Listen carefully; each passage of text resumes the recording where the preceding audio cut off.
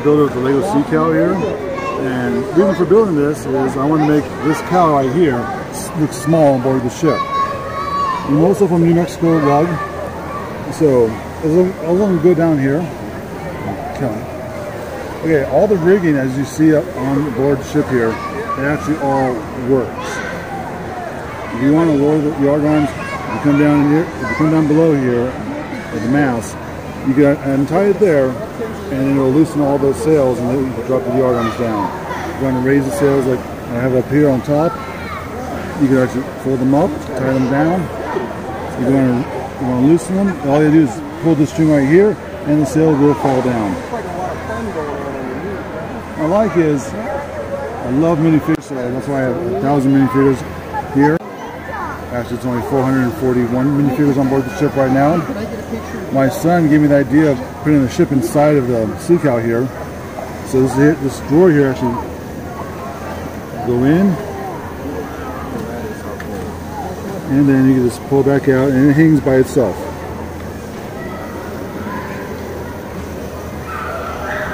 And since the sea cow in the movie had the paddle wheels on it, so so far this ship will have it too. The front end is to scale from the movie. I actually counted all the bricks and how many how many bricks down they were, all angles. So we got that. Okay. Got Davy Jones over here playing the playing the organ in the Goonies set. You see a lot of minifigures from different sets on board here. Coming towards the back here, we have Spike in his cage. Good spot for Spike to be.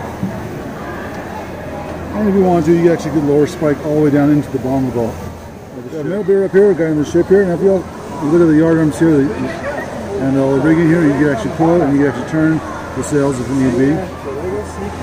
So the first deck, first deck here, we're going to be pointing to, is the captain's quarters. You got Metalbeard there when he was young. Over there. In the treasure chest we have Lord of the Rings, Death Star plans, there's the Lost Ark, and Davy Jones's heart.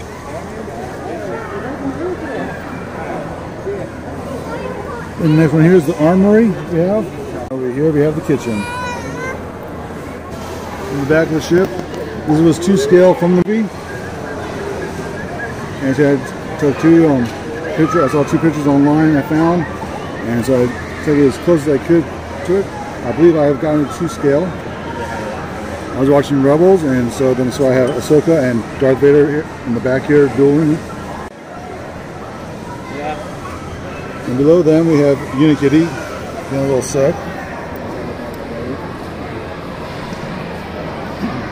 And just below the back here we have four Apkedo tubes.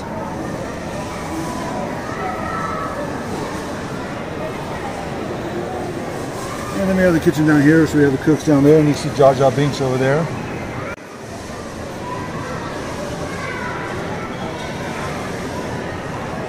And then we have R2-D2 on top there, in captain's quarter.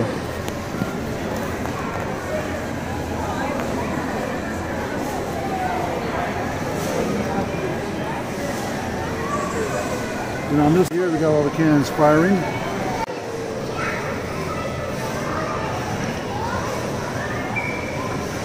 And the hardest part of this build was this wheel here. These two wheels, there's no instructions. The Lego movie did not show any structure behind behind the gray pieces here. So I had to figure out how to make it work. I asked everybody on AFOL how to do it. They gave some good ideas, but after two years, this is what I came up with. You can see in the center there, right behind the solar panel, right by the solar panels there, I have a skateboarder. And I have Minnie Mouse there playing volleyball too. Then we have Dorothy here with the Cowardly Lion, Tin Man, and Scarecrow. They look like they're about ready to pop someone. Yeah, it's the ship across the way over there. Everybody's getting ready to go attack that ship. and then we have this, we have this little guy down here running from the sea cow.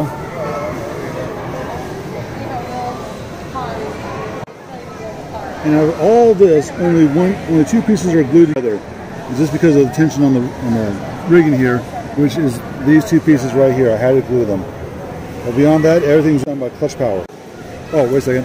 This turns. And my son thought it'd be funny to put ice cream cone on top of Spider-Man's head Where was Spider-Man? I just lost him. on the stack. Oh, yep, there he is.